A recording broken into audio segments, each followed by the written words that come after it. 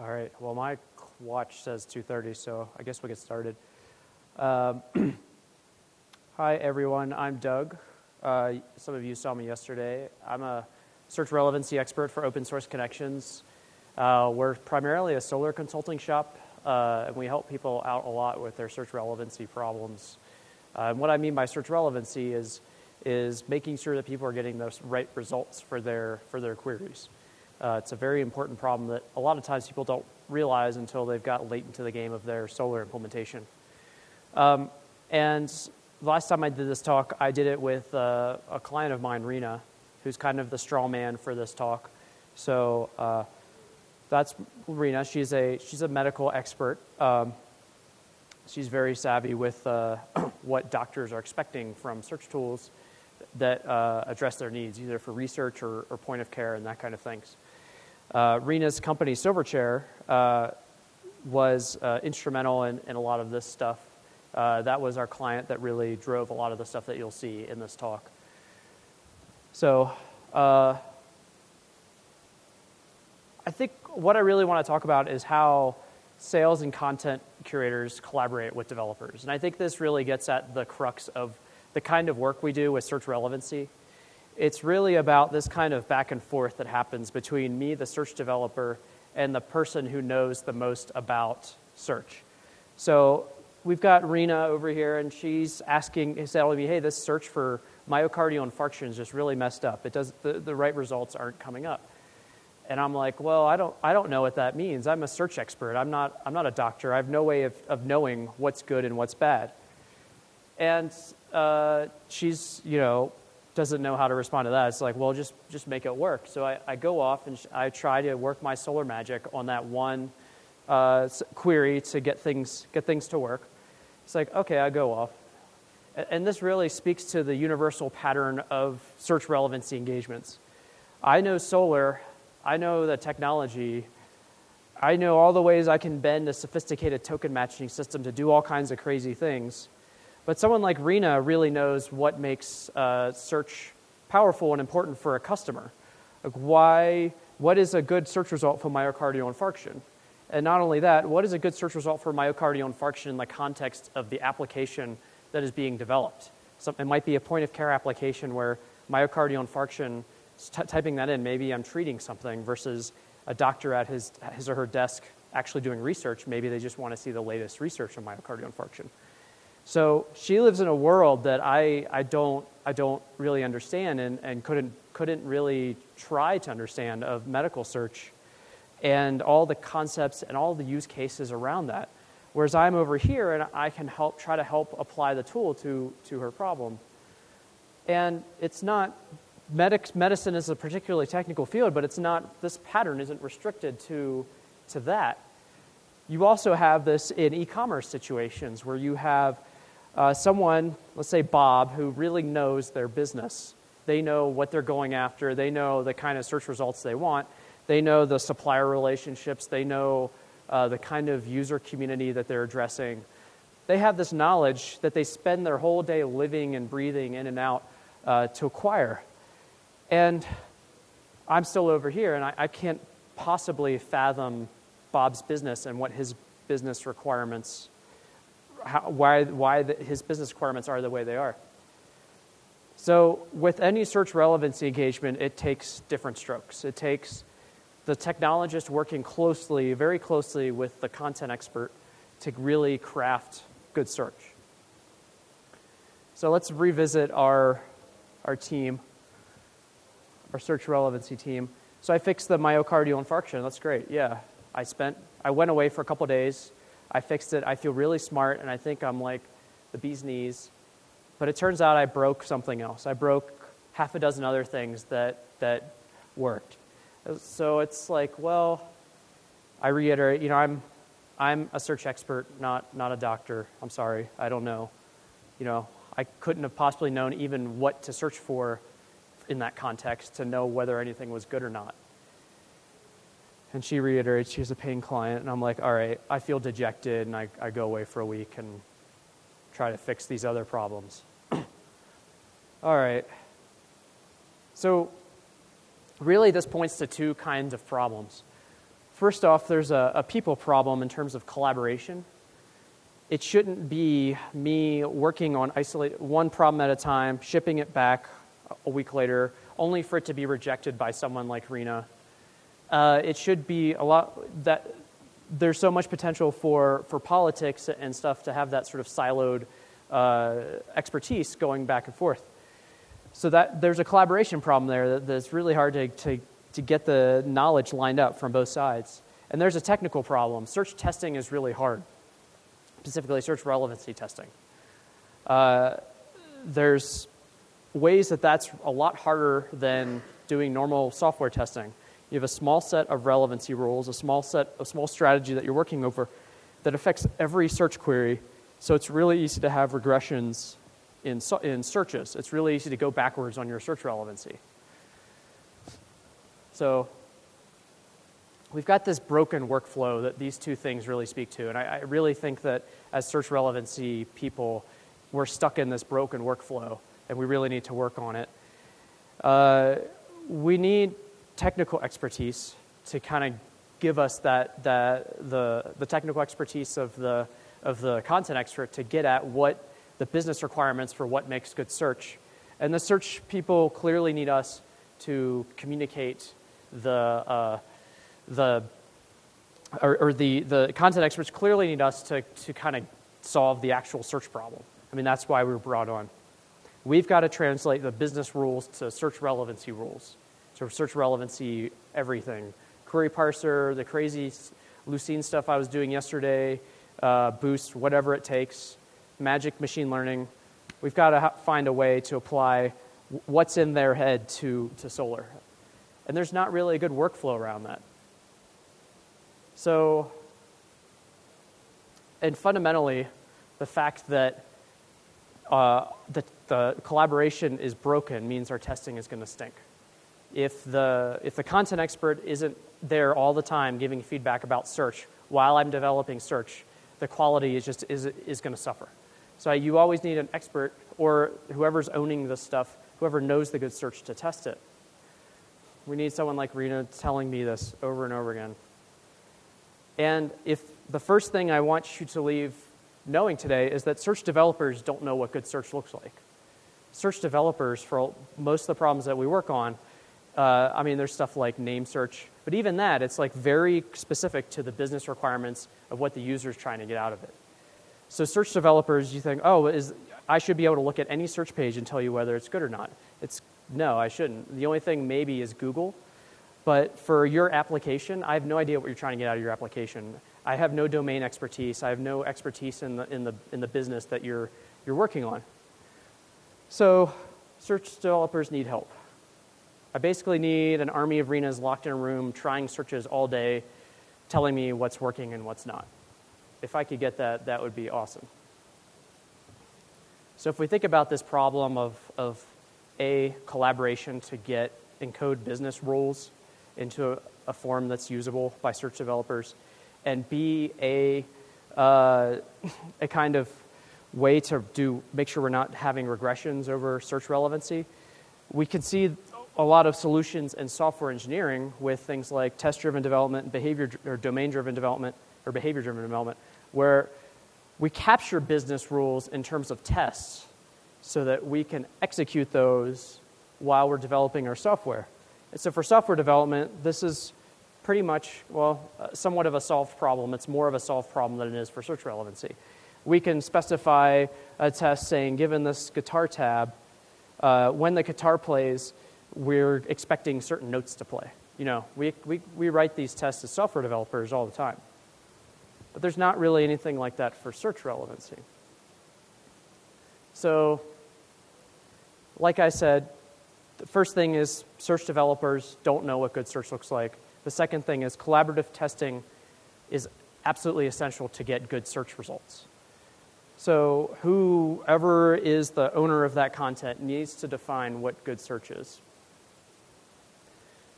And um, there's no really good tools to help get at that conversation to say, uh, search developer and content expert, how can I encode the knowledge and the business rules of the content expert into a place uh, a workbench, a tool that a search developer can use in the same way that I've sort of encoded unit tests in, in my software application so that I can iterate over the process and make improvements and measure whether or not I'm making going forward or going backwards.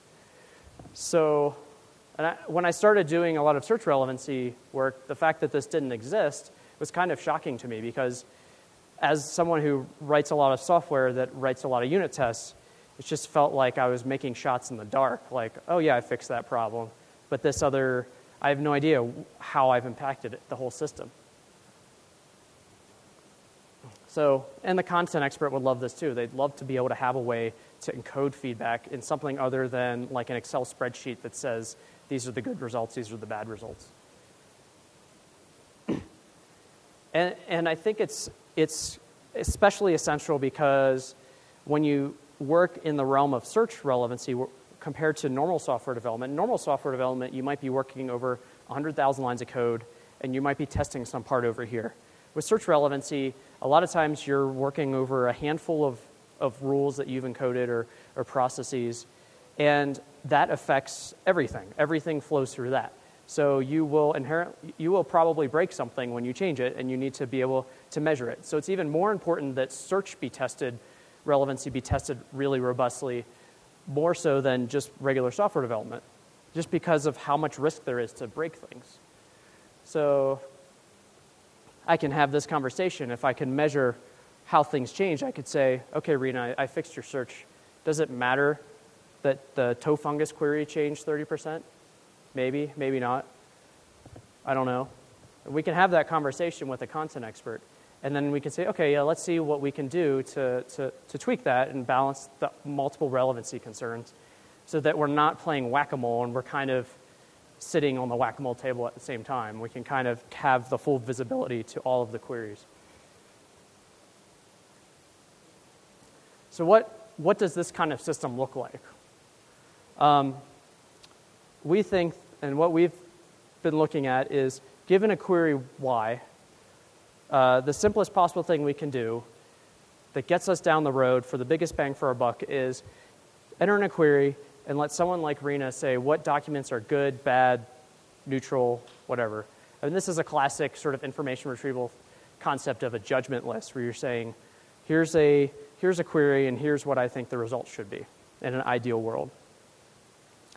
So if I could get that, if I could have judgment lists, at the same time I have a, a workbench tool, I can iterate over relevancy and instantly see based on the, how far I am from the judgment list that a, an expert has put in, how much progress or lack of progress I'm making for, for my search relevancy. So that's really what I want. And now we've invented a, we've actually come out with a product that I'm going to demonstrate uh, called Quepid that does exactly this, that basically lets people enter in queries, set, type in ratings for, those, for documents that they see, and see how they're making progress on their, on their search relevancy. And it's become kind of our favorite relevancy workbench. We recently just did a project with uh, the Duke uh, medical system, Duke University, improving their search for things like I want to search for a liver doctor near the city. That should bring up actual doctors that are near that city and not general purpose articles about liver disease. Uh, and all that, all those kind of crazy relevancy rules, we were able to kind of take Quepid and iterate on search very rapidly to get to show improvements. So here's our happy, happy collaborators. We're kicking butt now and taking names. You can try Quepid, uh, quepid.com. So this is the this is the live demo part of the. Uh, before I go into the live demo, does anyone have any have any questions? Yeah.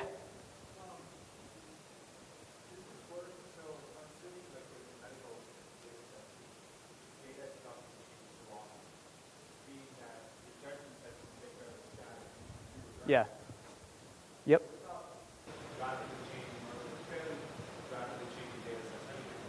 So uh, Amit's question was, what about rapidly changing data sets? How does this approach help with that? Um, I think in those kind of situations, how we've handled that is we tend to have a sort of test data set that is in a development setting that we're working over. So, an example of that, we did a project through Silverchair for the American Medical Association, and they they are constantly like updating with new research, and and the recency of the research is a big factor in the relevancy. So that was a case of okay, we have this data set, we uh, kind of control time a little bit in that server, and we're going to work over over it that way. Kind of freeze a, a test sample, yeah. Anyone else? Before I embarrass myself with a live demo? Yeah. What about um, kind of having, so you come up with your search algorithm and make it pretty good, and then you do clickstream Mm. that point? The question was about using clickstream analysis to tune it after that point. I, one of the problems I think with clickstream analysis is that you need a lot en- enough traffic to make it meaningful. So that's not uh, not something we've done a whole lot of because of that. Because sometimes we're working over like niche search applications. But the uh, one thing that we really would like to do is instead of this being a thing that's just driven by some uh, a client content expert that supposedly represents users, to use stuff like clickstreaming to capture uh, queries uh, from users and see what is good for them and what is bad and when they get frustrated and when they don't. And that would be really powerful because then we could iterate, we could A, show our client where their expectations and their users' expectations diverge, and B, kind of iterate on that through a workbench as opposed to just ratings. So, Yeah, we see it when people are typing, like, you know, and then they keep typing and keep typing and keep typing. they're frustrated. Yeah, yeah, I've- I've, I've seen that too. It's, it's, it's, it's, it's interesting, kind of the, I think Google had the search anthropologist studying how people search for things and try to correct things. That's a whole interesting field in and of itself. Uh, so, anyone else before I? Yeah.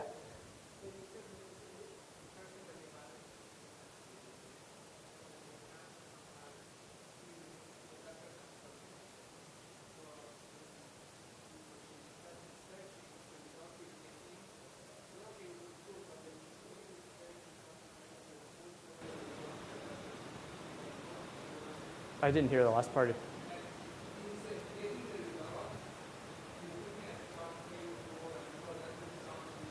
Yeah. Right. Be- Yep. Right. So the question was when you have the person's rated three or four rate documents for a query, but there's actually something better out there that they're not conscious of, and how do you kind of know know that? Yeah, yeah. That they they kind of would need to to know that. We have a way of kind of if if a user knows specifically what document they want, they can type in like the ID of the document and, and give it a rating, saying this is a 10, meaning it's a should be in the top 10. And uh, oh, that got loud. And uh, so we have a way of doing that. Um, but yeah, you're right. Sometimes people are, I think this looks good, you know, or they might might not realize that something even better is out there. And sometimes what happens is we will improve the search, and that what they're not conscious of actually pops up, and then they're excited about it, and they're like, oh, well, let me give that a rating of 10. It's really good. So, cool. All right. So I'm going to show off Quepid. Uh, you, you can try quepid.com uh, or Quepid by going to quepid.com. And um, so I've set up a little demo site, and the demo is basically just a, a data set that we can all understand. We've made a, a cable website, so a cable e-commerce website. I've just called it Cables R Us. Hopefully, that's not a real cable e-commerce website. So if we were supporting the search for this, we might sit down with the person actually, maybe the, uh, the retailer, the, the um, what are they called, the, the person actually responsible for selling stuff, and sit down and say, okay, what queries are important for your users? And it turns out that, okay, there's some mundane queries that we should capture Ethernet cable. Okay, and maybe HDMI cable. You know, these are the kind of things people search for. You know, and these should, let's see what we get. Okay, these are actually looking like pretty good search results for Ethernet cable. Let's go through and pop ratings on these. Giving each one 10. And um, while this seems monotonous, the alternative that we, and here's an HDMI cable that doesn't fit, the alternative to this that people often do before they work with us is that they do the same exact thing, except they're putting everything into Excel or something. Uh, they'll basically, the people who really are very specific about their search results will kind of do the same thing. We'll list, well, I want these results for this query, I don't want these results. So where I'm looking at HDMI cable, and the top four are pretty good, but we've got a bunch of Ethernet cables in here. So I'm going to give those a 1. 10, 10 is uh, my mark for this is really good and could be basically the top. 1 is this is pretty terrible. Okay. So that's how we're doing with these two queries. Now, we can take it up a notch and think, okay, what's a really basic relevancy problem that we can solve? One of the things that might happen is users type in network query or network cable. Right? Now, if you remember, none of this stuff actually says network in the text. So now we've got a actual relevancy problem to solve, be it a fairly trivial one. And we can see that the search results are kind of all over the place. We have basically whatever has the shortest title because of norms. And it's kind of sorted based on basically the shortness of the title because everything says cable, nothing says network. So let's go through here and we're like, all right, uh, that's, no, that's no good. That's good. We don't want these HDMI cables.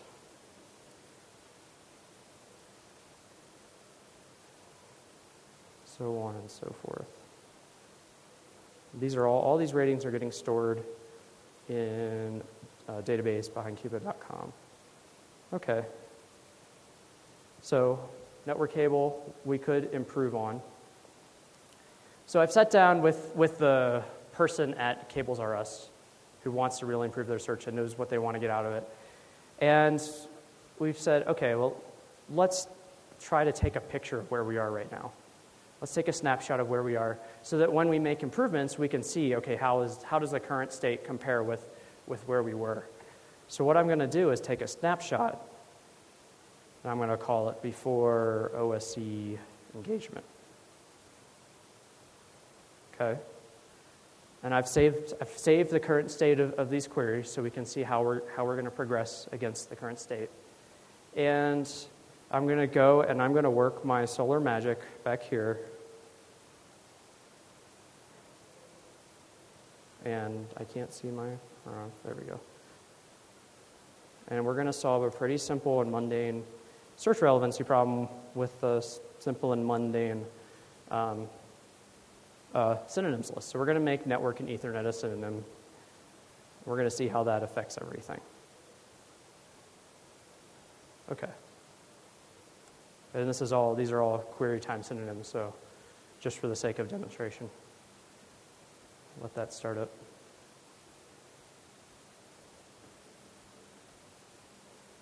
Do, do, do, do.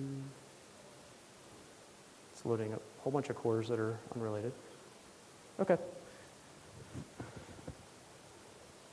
So I'm going to come back over here to Quepid. And let's hit refresh on this bad boy. So we can see network cable, we're actually doing, doing better now. We've made an improvement that we can measure and actually say we made an improvement. We've got a little thing, a little icon here saying we need to rate some of these queries. Yeah, oh, these are Ethernet cables that didn't show up before. Let's give them all tens. Uh, da, da, da. And now we're, we're doing great. And so we can say, okay, well, how are we doing with regards to that snapshot that we took before? Let's take a look. Say, oh, we're doing the exact same thing for this. That hasn't changed. And we can kind of do like a qualitative. This is very handy because sometimes this number, it's hard to create one number for what people qualitatively sometimes just see by diffing to search results. And we can say, okay, clearly we're making progress on the search query. We're, making, we're going up forward with, uh, with the relevancy here. And over here, we're, uh, we clearly have some bad stuff in the search. So that's sort of the mundane sort of relevancy problem. Another thing that we might do, and this is the part I always screw up, is we can come over here to our sort of workbench mode. So I clicked into the developer settings and I can pull out a little doohickey that lets me modify what is actually doing, what Solr is actually doing. So I'm hitting the select handler for this guy, which is just a normal select handler without any, any extra special configuration. And I could say, okay, we've got to deal with, uh, with Cisco, Cisco. Let's take it, let's boost on that. So, okay, I always have to do this. Def type equals edismax, and boost query equals, what's the field name? Supplier Cisco. And let's uh, really like Cisco. And see what I screw up. Okay, we've actually improved network query. let's see how HDMI is doing. So when we look over here and we diff these, we can see, well, we think, we think it was a good thing to boost Cisco, but we've completely screwed up our, uh, our HDMI cable. Oh, now we're having Ethernet cables in our HDMI results, when really we should have these HDMI cables that we had before. So we've taken a step backwards. So, and the score has gone down a little bit to reflect the reordering of results. So um, we really should give this a 1. So that's it in a nutshell. Uh, there's other features here that I could get into if, if you were curious, but yeah.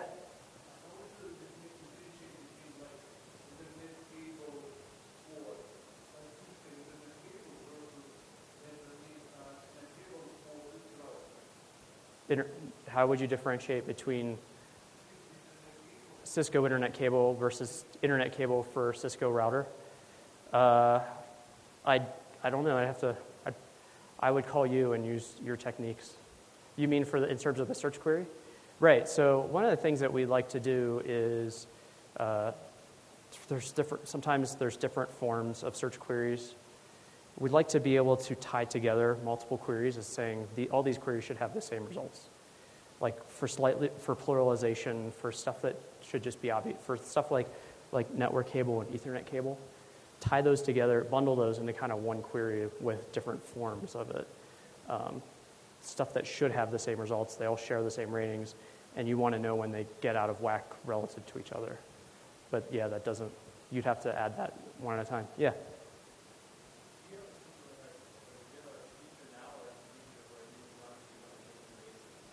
Yeah.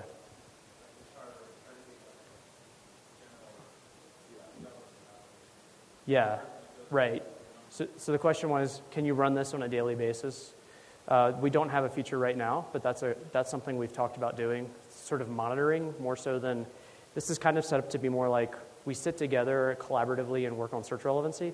But I could totally see uh, monitoring being a huge part of this. And uh, one of the things that we're going to be getting into is building out the snapshots a lot more so that it's you get you can get kind of a Google Analytics kind of view of the history of your search relevancy over time for all of your queries that you think are important. Uh, but that's that's not quite there yet. Ooh. Yeah.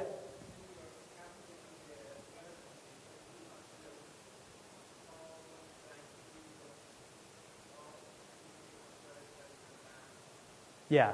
So right now, this number, this number is going through about four iterations. Right now, what it is is the what is confusing. What I would really like it to be as a developer is purely a distance from, and I'll show you. You can diff against the highest what the highest rated uh, results are. Purely a distance difference from how far your current top 10 is from where you would like to be. That, that is uh, not entirely intuitive to people, though, if that are not technical. So you kind of have to explain that a lot more because it's not an easy scale to get, get into their heads.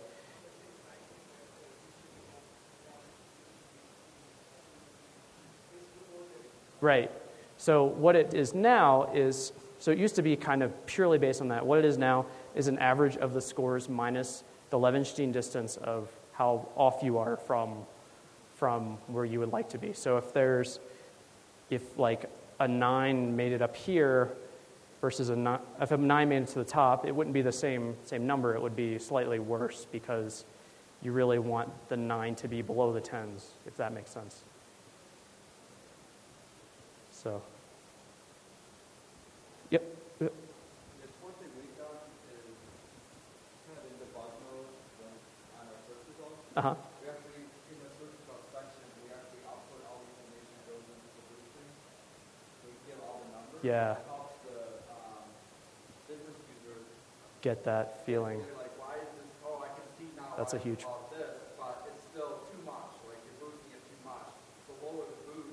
you know, so we get conversations like that. We're actually we're working on a. The question was about um, uh, showing the debug query info in a sensical way to users, and we're actually working on a visualization for that. I think there's like Solr dot ex, solarexplain.pl or something that gives that to you, but we'd really like to uh, have a little visualization button pop up that kind of shows you a heat map of like here's why you're matching this is matching versus that.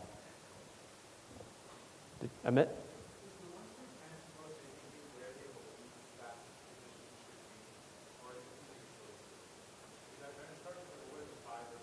Yeah. Yeah. The question was about the rating, having a 1 to 10 rating.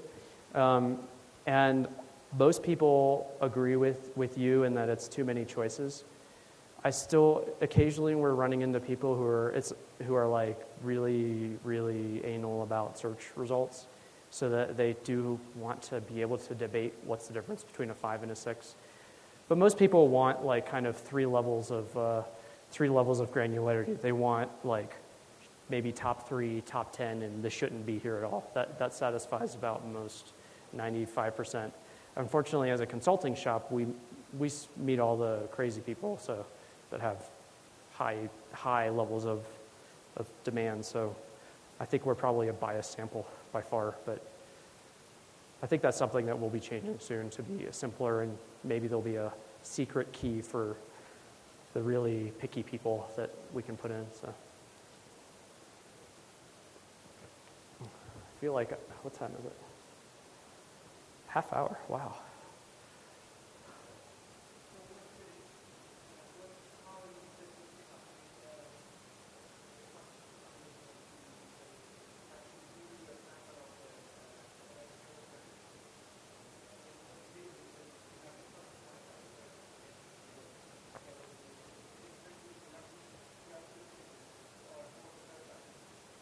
Right. You mean do you cop do you copy do you like copy Solr to you and so the question was how, how does this work with with a customer using this tool? Uh, so we're doing some tricks where the all of the search queries are executed in JavaScript on the browser using JSONP.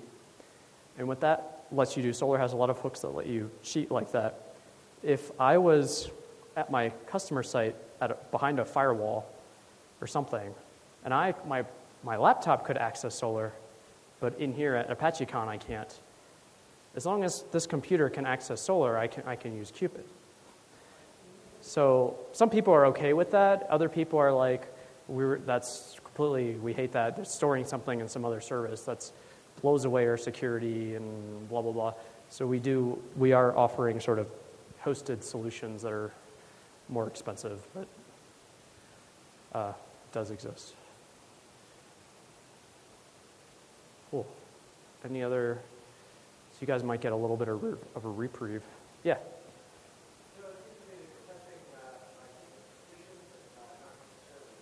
Mm-hmm.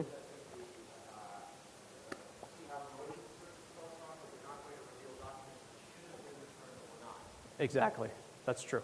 So, So the question was precision versus recall. This is this tool is really uh, focuses a lot on precision, and where uh, recall might matter, and it's really just recall in the top ten, is I could go over here and I could say, I really know want this. I, of course, these are all the things that already match. Let's say do it yourself. See if this comes up. Right. I really want these to be in the search results. So I can kind of do like a sub search to find, I can enter in either a document ID or a, uh, that's something in the title. Quepid kind of picks, the, picks a field and makes it the title field. And, right. Yep. So, the, yeah, so myocardial infarction should return heart attack. So what I would do is if there was a document that had heart attack, I would come over here in my myocardial infarction query and, and like find the thing that has heart attack in the title that my customer really knows that they want to show up and give, give that a rating. So um, I think this number here is going to be configurable so that it can take into account when things are I'm probably going to make it configurable to make it so that it can be a, a pure, pure distance. Because what is nice when it's a pure distance is frequently you'll notice when things should be there that aren't there. Whereas with this, it's intuitive to users to see kind of something that's like an average. Like non technical people will look at a, a, distance and not quite get it, but they'll get the, the average idea of this is a rough average of stuff. Yeah.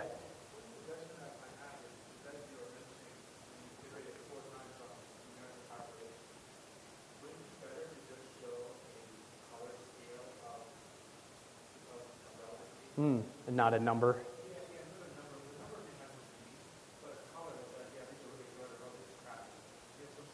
It kind of fuzzies it, yeah.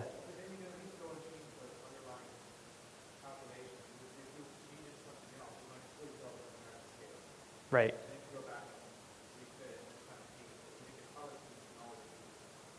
The question was um, maybe you should get it away from a number and just use kind of a fuzzy color scheme and I, that's, that's a great idea. That's a really good idea. Maybe you, for crazy people like me, you could have some backdoor way of getting the number, but yeah. So, go ahead. Yeah. I've heard the I've heard the name. Have I heard of the Open Relevancy product project? I've heard the name.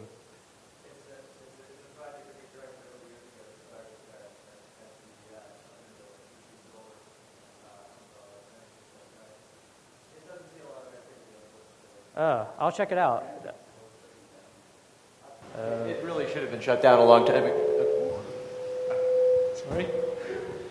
I, I, yeah, the microphone doesn't like the Open Relevancy project. Nobody else does either. yeah. Uh, what I was referring to is the Open Relevancy Project, which was a, a, uh, a wonderful initiative of the uh, some people involved with Solr, uh, uh Lucene and uh, Lucy, to uh, uh do actual relevancy testing uh, uh, under under the aegis of Solr, et cetera. And unfortunately, it just didn't get critical critical mass. So. Perhaps if there someday we will resurrect it if more people arise that wind up uh, yeah. having to give talks like this because it's, a, a, it's definitely an important problem. Yeah, yeah. And what we find is like our the prototypical customer of Quepid is someone who kind of sets up Solr in Drupal or something, and Drupal kind of gets you going. But then they, that's kind of, that's exactly what Duke Medicine was. They were like had this beautiful Drupal site, and they were like, at the last minute, it was, oh, the search stinks. What do we do? Let's call open source connections and they'll work their magic. So there's this like lack, I think there's a whole, from my business mind, there's this whole like set of people, potential customers or potential people who have, you're going to have this problem and they don't realize it. They're not conscious that relevancy is a thing. they've just kind of grown up with Google being awesome. And they're like, oh, a search engine, it's going to be awesome, right? It's just going to work. It's going to be psychic. It's going to know. And then they plug it in, and they, we, you have to educate them. No, it's really just a sophisticated token matching system that we play a lot of games with to do crazy things. So it's definitely a problem that uh, we're trying to make people outside of the Solr community aware of that like we've really thought of bringing this kind of stuff to DrupalCon and like there's other frameworks in that sort of vein where people just plug it in and get it to work and they're just not conscious that this is going to be a thing they need to plan for and work on. So I think it's definitely an awesome area. TREC? What's TREC? Uh, what, is, what does TREC stand for? Who remembers? That's them, yeah. It's, a, it's an old school uh, uh, uh IR uh, organization that's been around for decades. Oh yeah, they're the they're like the academic sort of group that had did the judgment list like competitions. Okay, and they would do like specific verticals for search and that kind of thing. Yeah, I've heard it. I've heard of them. Yeah. Yeah. Do they still have? Are they? They're still around. Unsure.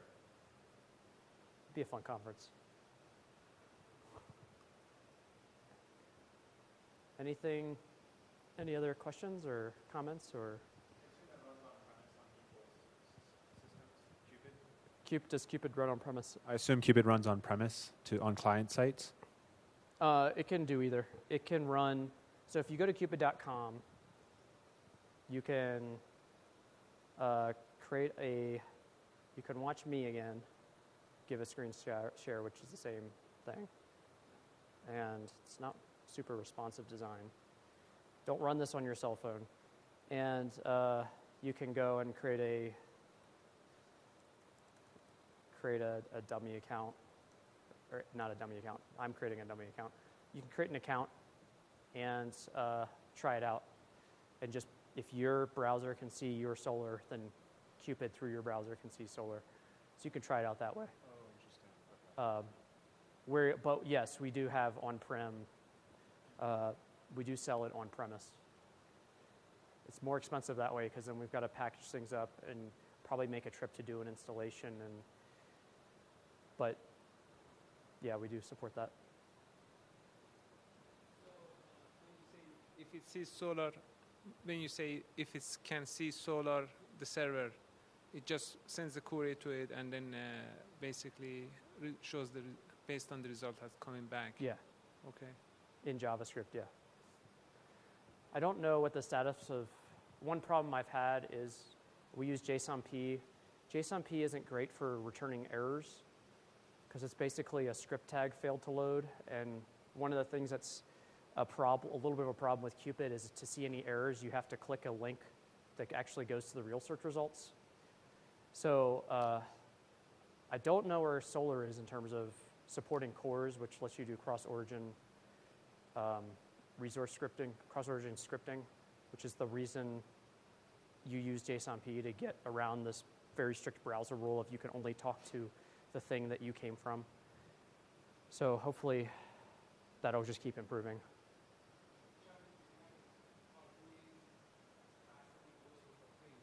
You, you have it just, in this case, you have uh, the only interface you provide is a, just a uh, text uh, query interface to yeah. it. Yeah.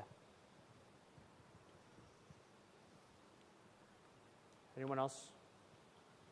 Going once, going twice? If we have no more questions, it's coffee break time. Yeah, fine. And we are starting at uh, 3.45 next. Great. Thank you. So get a little break. Thank you.